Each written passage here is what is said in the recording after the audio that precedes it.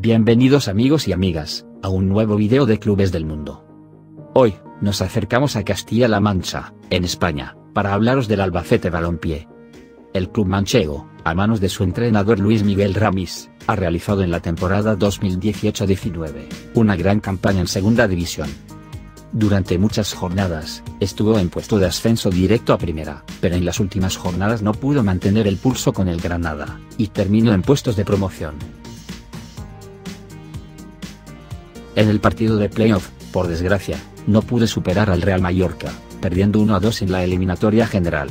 No obstante, la gran temporada realizada, me motiva a hablaros de este gran club. En 2015 el club cumplió 75 años. El Albacete Balompié es considerado, un histórico del fútbol español. 6 es el único equipo de Castilla-La Mancha, que ha militado en Primera División. Ha jugado en Primera División durante 7 temporadas, repartidas en dos épocas, Además ha estado 22 temporadas en Segunda, 9 en Segunda B, y 29 en Tercera División. Obtuvo un trofeo de campeón de Segunda División en 1991, tres veces fue campeón en Segunda B, y ocho campeonatos de Tercera División. El color que identifica al club es el blanco, que aparece en su uniforme titular desde su fundación. Desde 1960, juega como local en el Estadio Carlos del Monte, de propiedad municipal, con capacidad para 18.000 espectadores. Es el estadio de fútbol más grande de Castilla-La Mancha. Debe su nombre a Carlos Belmonte González, quien además de diseñar el recinto, fue alcalde de la ciudad entre 1956 y 1960. El Albacete Balompié fue fundado el 1 de agosto de 1940, fruto de la fusión de los dos clubes más importantes de la ciudad hasta esa fecha, el Albacete Fútbol Club, y el Club Deportivo Albacete, de cuya unión surgiría la Sociedad Deportiva Albacete Fútbol Association, que modificó su denominación, por la de Albacete Balompié en 1941. El ascenso a la tercera división se conseguirá en 1943, al ser invitado el equipo a participar como representante de la provincia de Albacete. En 1949, se consigue el primer ascenso a la segunda división, pero solo duran en ella una temporada, y no pueden evitar el descenso.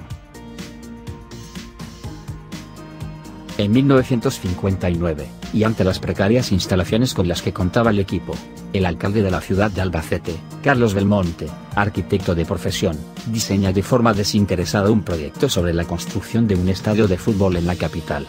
El proyecto salió adelante, y fue financiado mediante la emisión de mil abonos, para 10 temporadas al precio de 5.000 pesetas cada uno. La década de los 70 será nefastas para la entidad manchega, que militará en las categorías regionales en dos periodos de la década, aunque contará entre sus filas con grandes jugadores de la talla de José Antonio Camacho, o Julián Rubio, que se formaron en el club. La revolución llega en 1990, de la mano de Benito Floro como entrenador, a lograr el ascenso a la segunda división.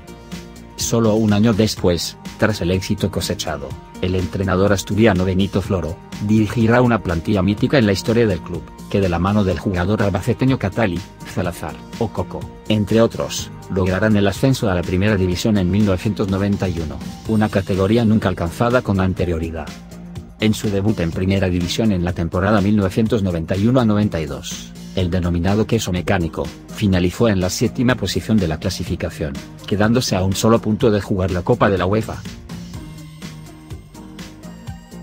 En 1995 se quedó a un paso de la final de la Copa del Rey, tras caer ante el Valencia en las semifinales, en un partido de vuelta que se resolvió por la mínima tras el empate de la ida.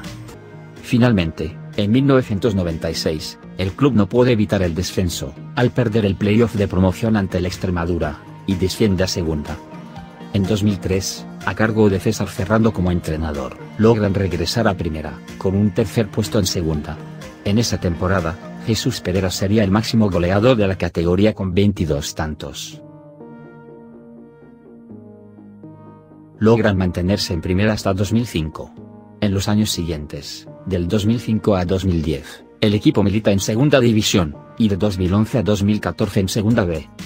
En esa época, Andrés Iniesta, canterano del Albacete Balompié, y mítico jugador de la selección española, ayudó económicamente al club en los momentos más delicados entre 2011 y 2013.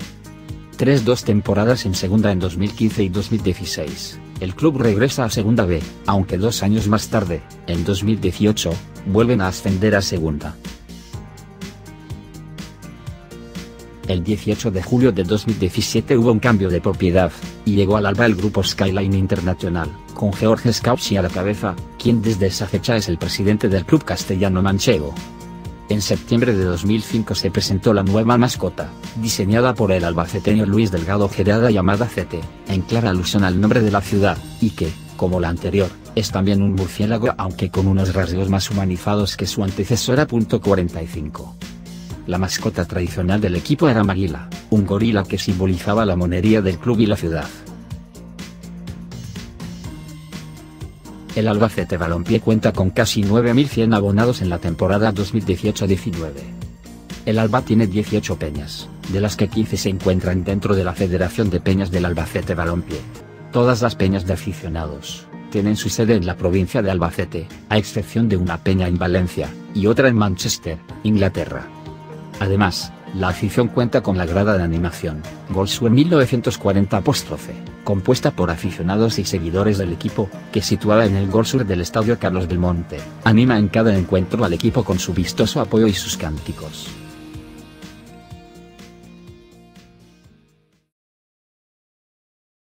¿Te ha gustado el video?